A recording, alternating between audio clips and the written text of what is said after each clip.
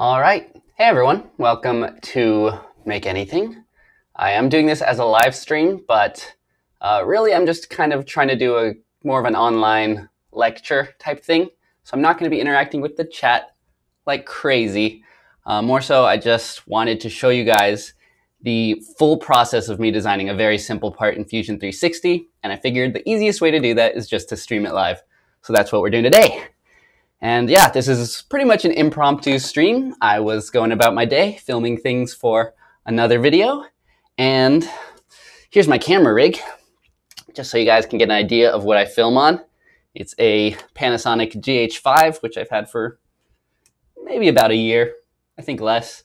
It's got a Sigma 18 by 35 millimeter lens. It's got this rig with an extra battery, a big old monitor, uh, I made the classic mistake of a newbie building a camera rig, which was to just make everything big and impressive looking, even though that makes it a lot heavier and sometimes inconvenient. Although I'll say I do like the monitor this size and I do like the workout I get from having to carry this big thing around. Anyways, I know most of you probably don't have a camera rig like this, but that doesn't mean it won't be a useful stream for you guys today because this is more just about my process of designing something. So, where was I getting with this? Well, yeah, I was filming with my camera rig, as I always do, and uh, for the second time, this part that locks the monitor to my rig here, uh, it's got this big screw that you kind of just tighten awkwardly, and it can get really tight, but it'll also loosen on its own, and that happened. So the entire monitor slipped off and crashed to the ground. It got caught on the cable, and luckily it didn't smashed to bits, but I'm not going to test that for a third time, so I decided I would stop everything today and design a part to lock this into place to make it a lot safer. So let me take off the microphone and kind of make this a little easier for you guys to see.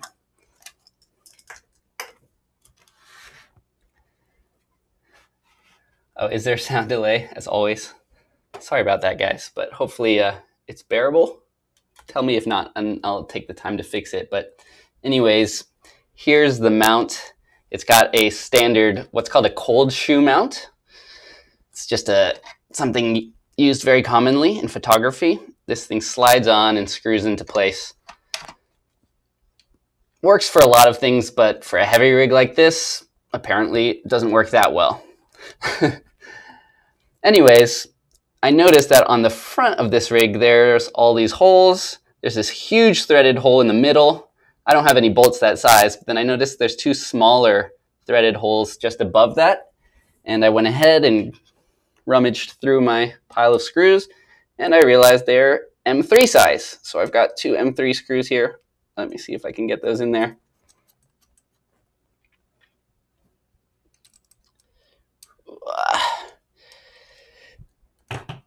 It's hard to get them threaded, but anyways. There we go. So as you can see, we can screw two M3 screws in there, and that gives us a way to mount something in a very strong way. You know, I don't want to make my entire part 3D printed. Printed threads, well, they work in a lot of cases, but when I'm trying to lock down a $100 piece of equipment or something like that, I'm going to try to play it safe and I'm going to use metal hardware. But the rest of it, we're going to 3D print. And that's what we're going to do right now. If uh, I think anyone should be able to follow along, whether, oh, is there some buzzing? Gosh, I'm sorry, guys. That's what happens when you do a stream impromptu like that. Um, anyways, so yeah, let's go ahead and jump into Fusion 360. Uh, the only thing we're going to be doing is measuring parts as we go along. I have my digital caliper. This thing costs about 25 bucks. This specific brand, I can't find it anymore, or at least not this model, but there's plenty of good rated electric calipers on uh, Amazon or wherever you buy things online. It's pretty much the only way to buy things right now. Anyways, this is the handiest tool. Uh, if you're interested in designing 3D printing, I'd say this is probably the first tool you want to get before you even get a 3D printer. I always encourage people to learn design before they actually get a printer, just because you can do so much more when you can design things yourself. That's what we're going to find out on today's stream because I'm going to do a very simple design and it's going to be helping me protect a very expensive piece of equipment. So that's pretty cool. So really, all we have to do is measure a few things. We want to make a cap, or at least I want to make a cap that matches this profile, but it's just a panel that I'll be able to screw down and it'll go up a little bit higher so that it covers that uh, cold shoe mount so the part can't slide out even if the screw becomes loose. It would require all three screws to come loose, and it's very unlikely that that will happen without me noticing. So, we're going to jump into Fusion. Fusion Cam. Whoosh. Wow, technology. Almost, almost good technology. There's, okay. Yes, technology. All right, so we're in Fusion. Uh, hopefully you can see me good enough here in the corner because I will be measuring things at the same time, but I'll tell you guys my measurements and stuff.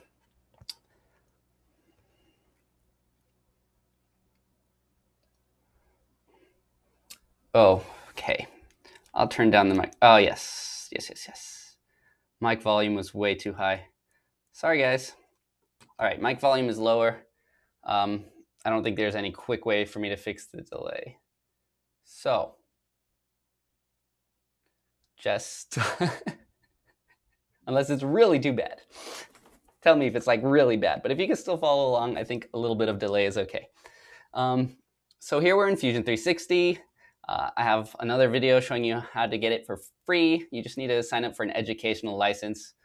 The process might have changed a little bit, but if you Google how to get a free student license, Fusion 360, I'm sure there's an easy way to do it. So we've got it now, and I'm gonna go ahead and start by starting a new sketch, which is almost always how you start because to create a 3D object, you first must create a two-dimensional profile. So we'll create a sketch, and here we have the three different planes, X, Y, and Z.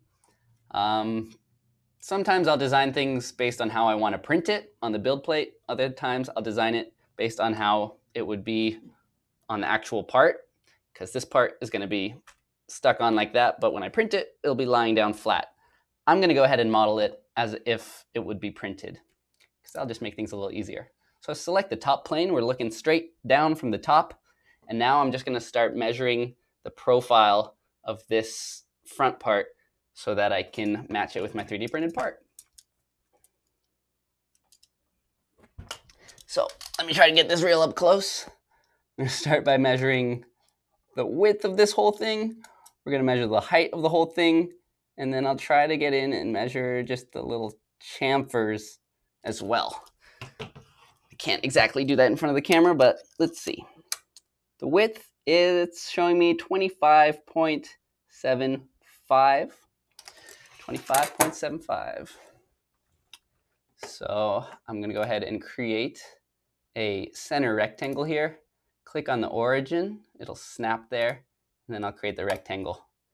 Now I can hit D to open the dimension tool, or you can click it right here. I guess I'll not use too many shortcuts today just to make it nice and easy. And here I can click on this line and give it that dimension that we just measured, 25.75. There's one locked in, and you see how those two lines on the sides turn black? That's because they're dimensioned. They're locked into place. The center is locked to the origin, and this width is locked. Therefore, these black lines are fully defined. These blue lines can still move up and down because we haven't told Fusion how tall the part is. So we'll go ahead, stay in the dimension tool. Whoops, with this line selected, we can hit the dimension tool. Then we can click, and now I have to measure the height. So I think it's a square, actually. But maybe not. I hope you guys know how calipers work. Oh yeah, it looks like it's 25. I'm getting 24.9. This might just be my janky measuring. I'm pretty sure it's 25 by 25, but um, well, let me measure it back here. It's a little easier to measure. It's a little easier to measure on the back. It's the same same height and everything, but it's just less in the way. So I'm getting 25. And yeah. Measuring it a little more carefully, I'm seeing it's exactly 25 by 25. Usually if your caliper is showing 25.05 or something, it's usually the caliper that's wrong, and usually the part is pretty accurate, especially with a aluminum cast part like a camera rig. Anyways, we've got that.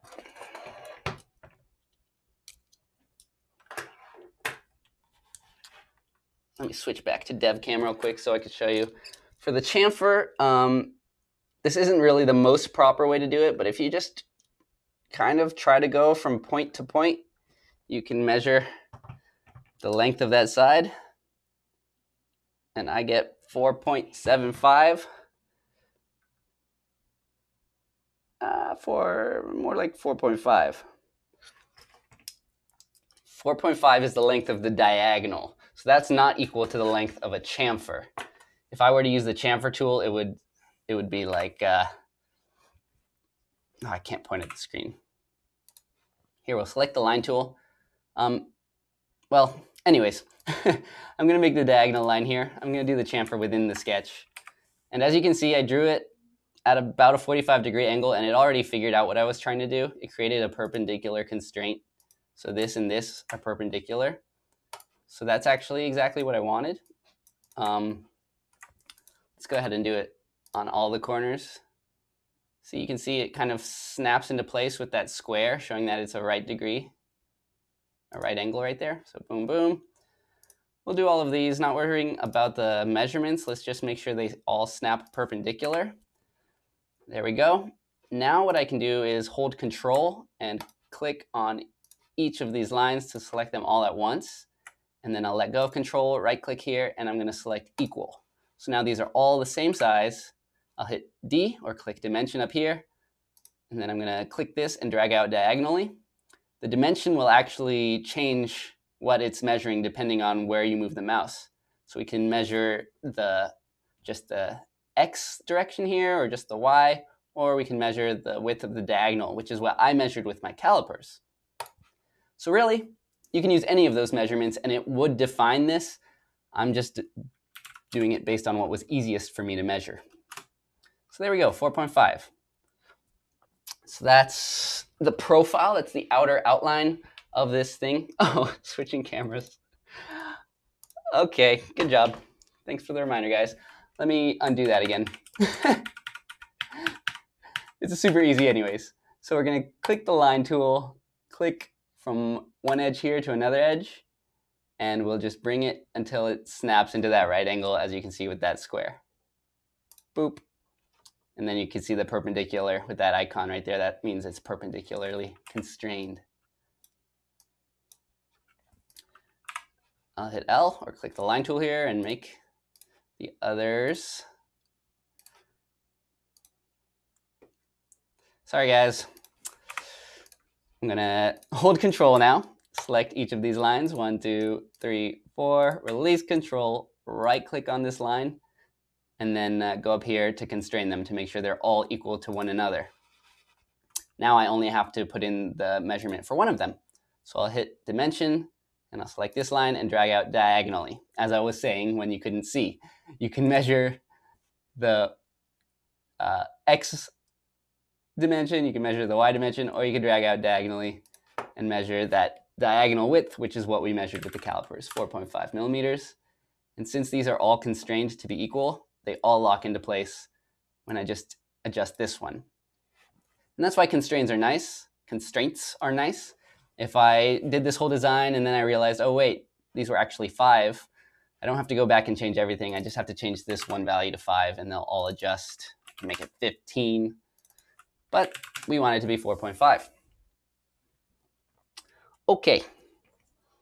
So that's already uh, a good part of it. We could do the entire model within this one sketch, or we could do it in several sketches. Um, it's not too complicated yet, so we'll go ahead and include the holes that the screws are going to go through to mount our little plate onto the front of this camera. So to do that, we have, well, let's switch back to this camera, and I'll make sure to switch back again when we go back into Fusion. But if you look, you can see that hole I'm pointing to and then one on the other side. Those are the two that we actually want to include. Everything else, I'm just going to cover it because I don't need those. We just need holes for those two, which are the ones that my M3 screws are going to go through. And it looks like they are symmetric, you know, which is pretty standard. If you drew a line down the middle, the left and the right one would be perfect mirrors of each other. And hence, we're going to use the mirror function. So here, I still have the line tool selected, so I'll drag up and draw a line. By the way, um, when I'm drawing lines, oftentimes I just go here and click the check mark. But another cool little thing I learned is that if you're really quick and double click, it'll just automatically commit to your line like that. Oh, I did it again, the camera thing. what I was saying is, hey, exit line tool. Okay, let me delete it. In the line tool, instead of clicking the check mark to end a line, you can just double click. It's a nice little trick that I'm still learning to use. Anyways, as I was saying, we're gonna make this a mirrored function. So I'm gonna create this line from the origin. We know the origin is in the center, so if I go from the center, drag straight up, and that triangle means that we're locking to the midpoint of this line, so we know it's just going straight up, vertical line. That's gonna be our mirror plane. So if we draw something on one side, we can mirror it directly to the other side. And that's what we're gonna do with our two holes. Now, first off, I've got the circle tool here. I'm just gonna draw a circle. Make sure it doesn't try to lock to anything. And if you wanna make sure that it's not locking to anything and creating constraints that you don't want, you can hold down control. And now, even if I go right to the midpoint, it won't try to snap to it. As long as I'm holding down control, it'll not create any constraints, which can be nice. So now we have a circle here. I'm going to use my calipers again. Instead of using this part to measure the outer dimensions of something, I'm going to use these little parts, which allow you to measure the inner dimensions of things. So I'm going to go ahead, stick that little point inside the hole. I can't do this in front of the camera. I'm just going to go ahead and use that tool like so and that lets me measure the inside. Actually, no. Forget that. I don't have to do that because I have the screws that are going to go into that hole. It's way easier to just measure the screw instead of trying to measure the hole. Ha. So if I measure the screw, it comes out to just about 3.9. I want to have a little bit of clearance, so I'm going to go ahead and just make that 4.1 millimeters. So we can hit that dimension tool, select the circle, give it a dimension of 4.1. And as soon as, oh, I freaking forgot to change the camera again. Maybe I shouldn't do this anymore in the future. We'll see. Or I should just get better. Okay. Circle tool, create a circle. And while you're creating it, if you hold down control, it won't snap to anything. That's what I was saying. It won't create a dimension. Darn it, guys. I'm trying here. I was like, I'll get this tutorial done in like 30 minutes, easy. But then I have this whole camera situation. So uh, I selected the dimension tool here. I'll select the circle, click, and enter the dimension, which I said was 4.1 millimeters. It locks that into a 4.1 millimeter diameter, but as you can see, the circle is still blue because we need to position it on here. This might be the trickiest part.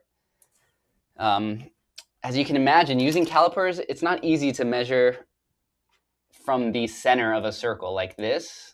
Can't really measure from the center point down to the bottom or something like that. It's, it's hard to get the center. We actually have to measure from the bottom of the circle to the bottom of this part or something like that. So to do that, what I'll do is select the line tool and create a line from the center here and just drag it straight down until it snaps to the bottom. And that'll create a point here that we can reference. So now I can select that bottom of the circle. I can select the bottom of this profile, click, and then I can measure, whoops, I can measure that exact dimension in real life on my part here from the bottom of the circle to the bottom of the part. boop. I'm not going to switch cameras this time. I think you guys get the idea. and that dimension turns out to be, well, it's kind of hard with the monitor in the way. Let me get that out of the way. That dimension turns out to be, I'm getting 8.4. It's probably 8.5, but no, 8.4. Looks like a pretty solid 8.4. So I'm going to change that to 8.4, hit enter, and it adjusts. Yeehaw. Wait a minute, that is so wrong. It's definitely higher than, oh, I was measuring the wrong, I was measuring the wrong hole. Okay, it's 14.25. There we go. Always measure twice, they say. So now we have the height locked in, and now we just need the, uh, what's it called? Width locked in. So I'm going to do the exact same thing. Let's zoom in here again, create a line, and this time I'm going to take the line out to the side. And that way I have another point here to reference from this side of the circle to this edge of the part. So I'm going to repeat, do that exact measurement that you're seeing there, doing it in real life on the part here. And I get 6.3, 6.3 millimeters. 6.3. Enter that. And now it's black. It's locked in. Awesome. What we can do now is select that circle. We can go to Create, Mirror. We've got that object selected. And then the mirror line is going to be this line we created at the start. Flippity flop. There we go. that still looks kind of off. I'm going to do a another measurement just to be sure. So uh, let's see, we can do that again in this direction. We can measure the distance between the insides of the circles. And also just this, see this is splitting the circle up into a bunch of different profiles. That could be annoying, so we can select these lines and hit X to make them construction lines, which is exactly what we're using them as. They're just references for making measurements and things like that. So now if I click between these two center points, it's already dimensioned here, but it'll tell me what the math says, that it should be 4.2. If I measure it in real life, I get 5.25. So I did something wrong. Let's see what I did wrong. I'm going to delete this and delete this. I kind of trust this inner measurement more. 5.25. That just looks more right. So I'm wondering, I either got the measurement for the circles wrong or I got something wrong. So let me measure these circles again. Right, three, they're about three. Oh, because I measured the bolt versus measuring this, the hole. And because the threads, the threads make it look wider. Gosh, I don't know. I'm pretty sure by measuring the distance between the centers, that'll be accurate enough.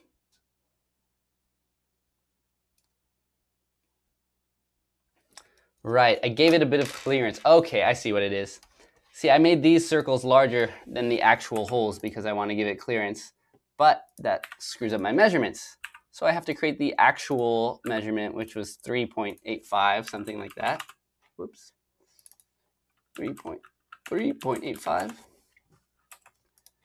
and I'll mirror that as well. And now I can go to the point tool and I'll add points right there and right there. And I'm going to measure between those lines. That measurement is 5.25. There we go. And those are construction lines too. So I'll select them and hit X. Gosh, this is a simple part, but it gets kind of complex, huh? When you're running through it all. But actually, that's the part. It's a plate with some holes in front of it. Now we can go to solid, hit extrude, click on that profile, and make it as thick as we want. And I'm gonna go ahead and make it three millimeters thick because that's just a good number. For, it's just a good number. I do want to make sure that the screws can actually tighten that much. I didn't test how far in they can go. Oh yeah, looks like they can go all the way in. So three millimeters will work. Screws will run through that and hold that plate against this thing and cover the cold shoe mount so that my external monitor can't slip out. This is really the whole part. I don't have to do anything else. I'm just gonna add some chamfers which help it print a little more cleanly, make it a little easier to drive the screws through. So I'm going to select all of these top and bottom edges with the chamfer tool selected. Sorry, I did that really quickly. Or no, I hit the shortcut for chamfer. You go to modify chamfer right here. it's hard to do tutorials when you're at my level and you've created custom shortcuts for a lot of the functions. you forget not to use those. So I'll make that 0.4 millimeters, and as you can see, that kind of gives it a blocky, rounded look. That means if the first layer of the print is a little squashed, it won't go over the dimension. Same here, it won't make the hole smaller than it's actually meant to be. That's it. That's the whole part. I told you it was simple, guys. Now all we have to do is go right here on the body. We can right click it, hit save as STL. And all the default settings here are fine. We'll hit OK. I've got my camera file. We'll name it monitor saver. Actually, we'll name it the monitor savior because it's going to give my monitor eternal life. I'll go ahead, eject that file, and my slicer is on my other computer, so I'm not going to show you guys the slicing. I just wanted to show you the Fusion 360 process. Um, I will show you, I, I, will go ahead and get the model printing right now so you guys can watch it. As you saw, I accidentally switched to the print cam a few times. Um, but yeah, slicing, I'm not doing anything crazy anyways. There's nothing Special, I'm going to do a 100% infill part because I want this to be strong. It is just PLA, which some people would say, oh, that's kind of sketchy, using PLA to hold in an expensive piece of equipment. But there's really not going to be a ton of stress on this part. Um, I think it would be clear that the part is going to fail before it actually fails. And I'm also using, I'm going to be using uh, Polyalchemy's Elixir PLA, which is like the really cool shiny silk PLA. Um, it's really fancy looking, but I'm using it because it's a little more flexible than regular PLA. So instead of just snapping, it's more likely to bend.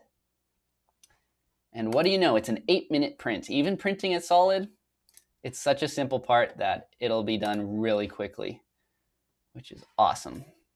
All right, I went ahead and sliced it and uh, I've ejected the flash drive. I'm gonna mute my camera a bit because I'm gonna stand up and switch to the print cam. Let's plug this thing in and get a print started.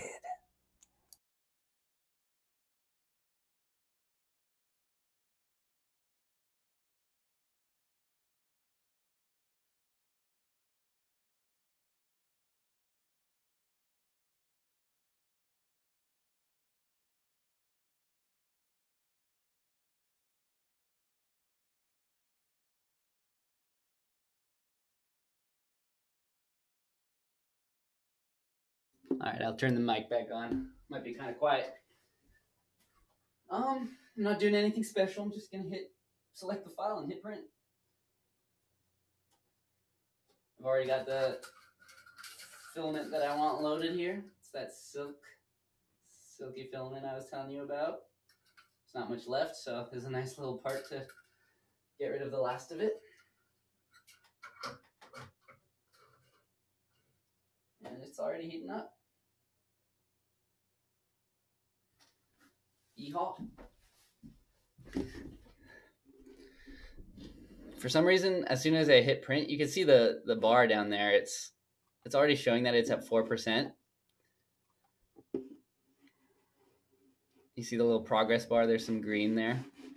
Ah, let me use my computer mouse.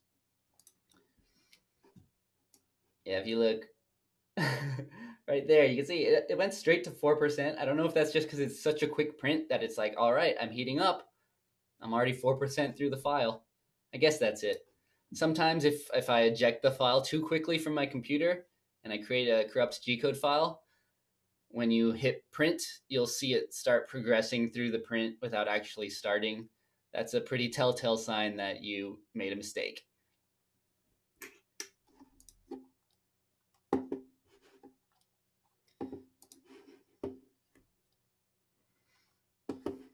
Hold now.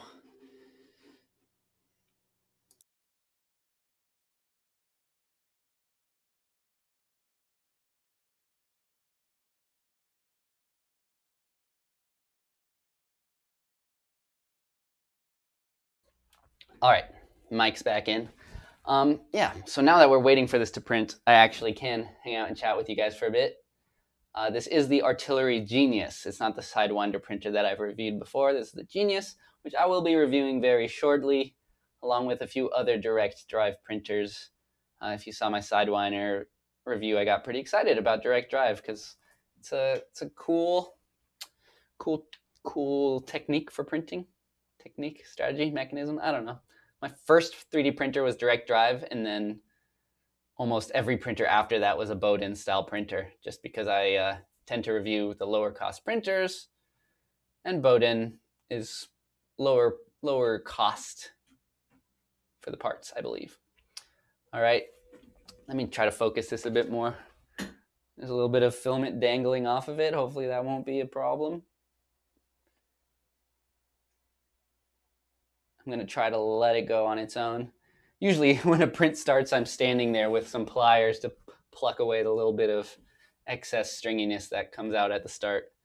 But I think it's doing all right. This printer is pretty self-reliant.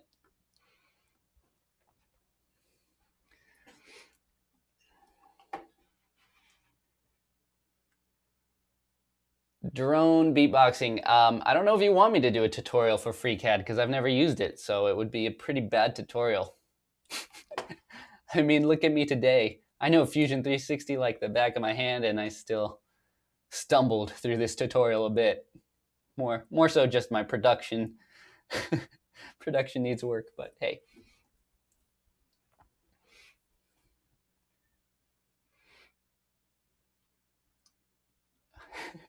So I'm seeing in the chat, it's very late for a lot of people. I'm in California. It's six o'clock in the evening here, so it's actually a perfect time for me. But I understand the West Coast is usually uh, behind everyone else. The problem is I'm behind even the West Coast. I stay up late, wake up late, so uh, my brain is, an, is in a different time zone than my body. All right, it's printing look at it go. Pretty zippy. And uh, yeah, like I said, it's a super quick eight minute print, not only because it's so small, but also parts with very few flat faces will print quicker. Whenever there's a straight line, the printer can accelerate a little bit while it's traveling that line. And all those little things add up to quicker prints. Um, yeah, I can show you this. Like, this is my Astrolabicon I actually haven't shared this version yet. This is the Pro Retro style. As you can see, it's got those retro lines, but it's also got that swooped shape of my new Pro version of the Astrolabicon puzzle. And um, yeah, so this version with all these ridges compared to the exact same model without the ridges, same size and everything, this one takes like twice as long because it's got to do all those little bumps instead of being able to just do quick swoops. So it's not just size that affects the print speed. Yeah, Colin, way to notice that I am, oh, pointing behind me. I am using the lights that I made using uh, just standard shop lights, mounted them to tripod stands, and now you can see there's a little bit of a diffuser on them, which I recently added. That's actually just the diffusion sheet that's on the inside of LCD TVs. I had an old TV that was getting thrown out. I took it apart and I found that sheet inside and it helps diffuse the light a bit. And that's how I get this green screen effect.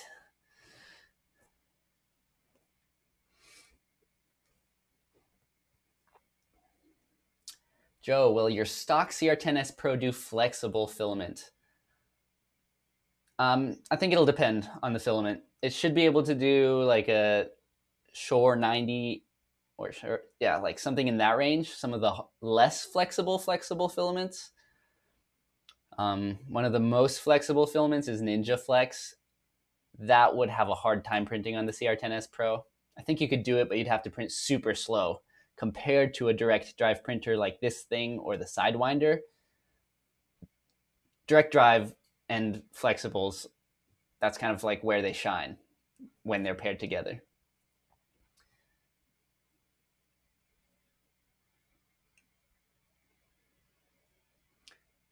What's my favorite thing that I've 3D printed? I think I get asked that question in every stream, which I understand.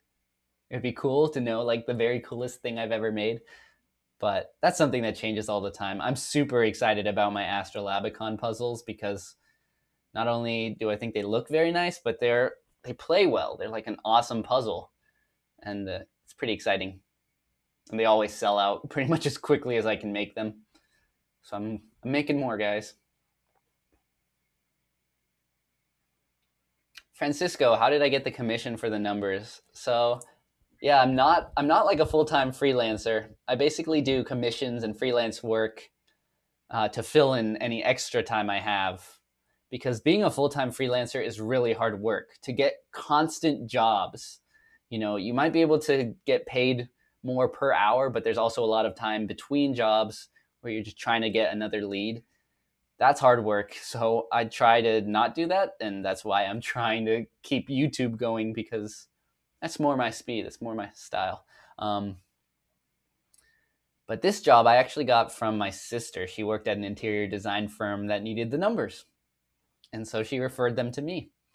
So unfortunately, I can't give you that advice, doesn't really apply to any other situation. That was kind of just, I happen to know the right people, which actually is quite frankly kind of how it works in the real world. If you're going to freelance, you kind of just have to make connections um, and you have to have to do a good job. That way, you maintain the same clients. You want to be able to have repeat customers because it is hard to get uh, to get new people.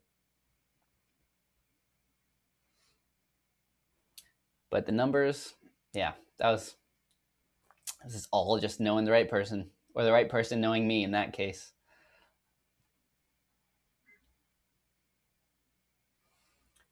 Have I ever had a really bad accident with 3D printers? Not in the not in the sense of going to the hospital or anything.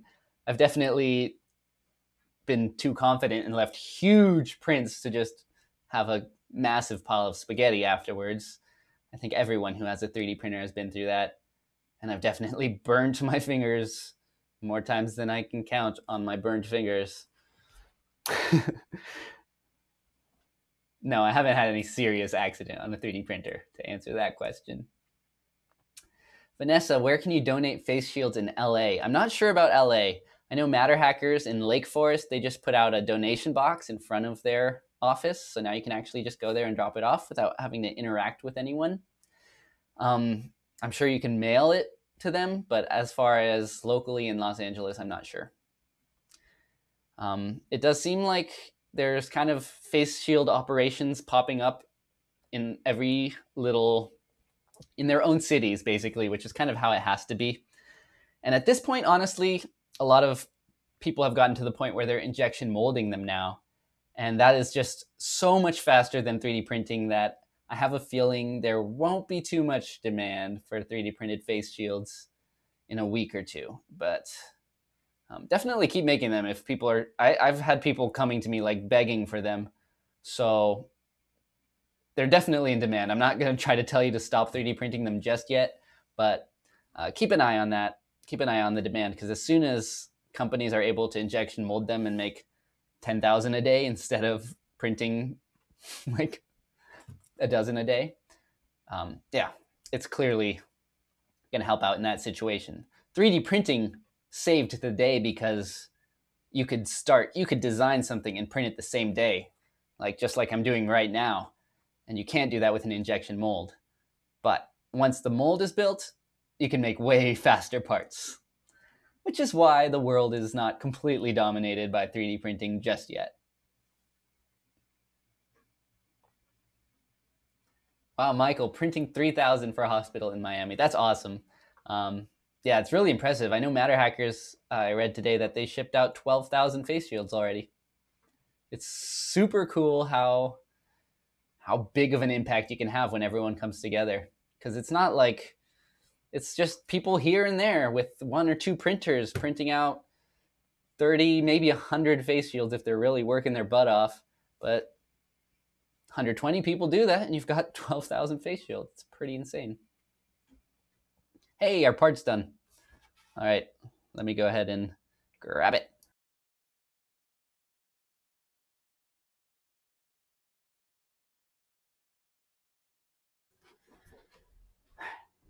Oh, I need special.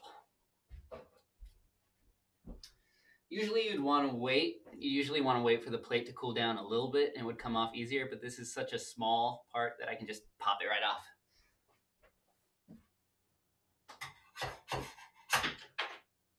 I almost lost that.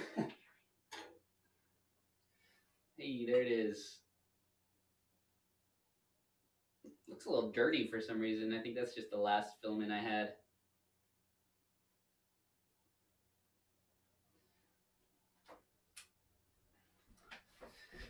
Ooh, it's still nice and warm.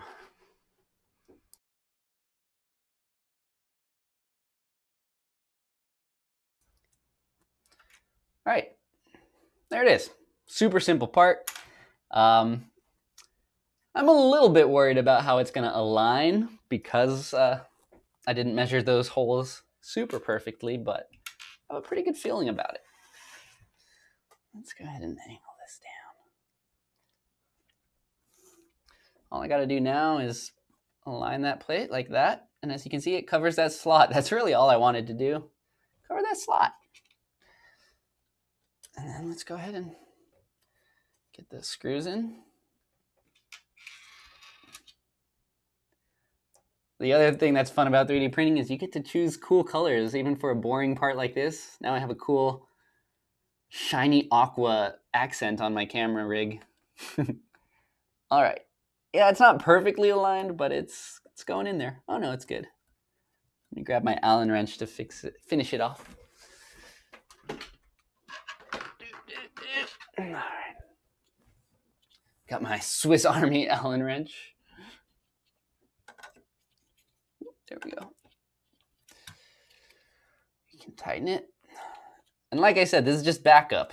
I have an actual screw here, but as I said at the beginning of the stream, it's come loose twice. I've dropped this thing twice and been lucky both times that it didn't smash the screen or something.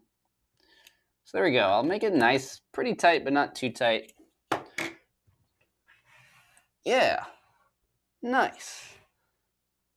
And how long has it been? Not even an hour. Even with me failing to switch screens and bumbling through that tutorial, I was able to have this part designed and printed in about 45 minutes. I think if I really just sat down and did it, I could have done it in about 15 minutes, 20 minutes maybe with the printing. But that doesn't show you the power of 3D printing. I don't know what does. Anyways, that's it for uh, the live stream. I know it was a kind of a quick little fun little thing. I hope you guys enjoyed it yeah, smash that like button. Uh, if you like the live streams, show this video some love. Um, maybe leave a comment after the live stream because every time there's a live stream, everyone's chatting in the chat and then I end it. And then when it goes to the replay or whatever, the comments are empty because it doesn't post them there. And then my video is sad and lonely. So uh, come back in about 15 minutes and give the video a comment or a like. And uh, let me know. Did you guys like this? Was it helpful? Should I keep trying to do it? Should I should I just like get better at switching back and forth between camera shots? Or did you prefer my uh, rejected animals stream the other day, drawing things? Or should I do something else? If you guys have any suggestions for different types of live streams you want to see from me, put them in the comments. Not in the chat, put them in the comments, because otherwise it's hard to see. Okay, anyways, I've got the part I need, so I can go back to filming now and back to making some more uh, flashy, exciting videos for you guys. Anyways, it was fun to fun to jump on the stream and say hi to everyone. Hope you're doing all right on this Saturday morning, Saturday night, Sunday morning, depending on where you are. Shoot, it's Easter time for some of you already. Happy Easter. all right. Till next time, I'm Devin. This is Make Anything. And as always, stay safe, wash your hands, and stay inspired.